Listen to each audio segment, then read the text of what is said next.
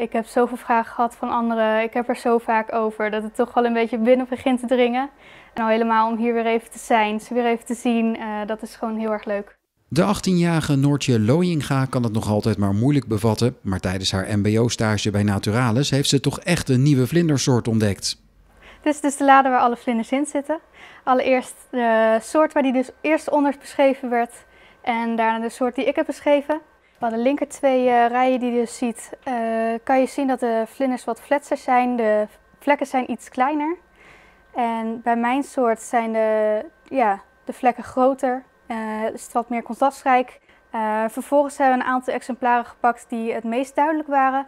En die hebben we dus geprepareerd voor onder de microscoop, zodat we echt de genitaliën konden bekijken. Want bij deze vlinders bepaalt de grootte en de vorm van de genitaliën of er echt sprake is van een nieuwe soort. Hier bovenaan zien we de uncus. Dat gebruikt het mannetje om het, uh, ja, het vrouwtje vast te houden. En de valve hier, eigenlijk twee soort van uh, handjes, gebruikt hij om de zijkanten van het vrouwtje te pakken. Hier op de vesica zitten dus die hoorntjes, dat noemen wij uh, cornuti. Uh, die zijn er eigenlijk uh, ja, door evolutie gemaakt. Uh, het mannetje gebruikt die om de binnenzijde van de baarmoeder van het vrouwtje kapot te trekken. dat vergroot namelijk zijn kans om zijn nageslacht echt in de, in de eitjes te krijgen, zodat ze niet verder paart met andere mannetjes. Looyenga deed haar ontdekking niet alleen. Stagebegeleider Rob de Vos had de nieuwe soort al een tijdje op het oog. Ik heb natuurlijk een aantal dieren hier staan waarvan ik vermoed dat er iets mee aan de hand is.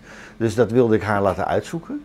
Dat was dus een beetje uh, uh, voorbedachte raden, maar het, de, het, was nog niet zeker of het een nieuwe soort was. Dus dat was, dat was natuurlijk wel uh, een verrassing toch eigenlijk. Het is een hele gewone soort.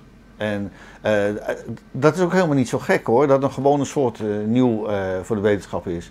Veel mensen vergissen zich in, in de determinatie. Hè. Noortje vertelde al dat, dat deze eerst altijd als een andere soort werd beschouwd, maar als een variatie. En dan later pas ontdek je eh, dat het een, eh, een, een, andere soort is. En dat kan in de collectie gebeuren. Dat hoeft niet eens in het veld.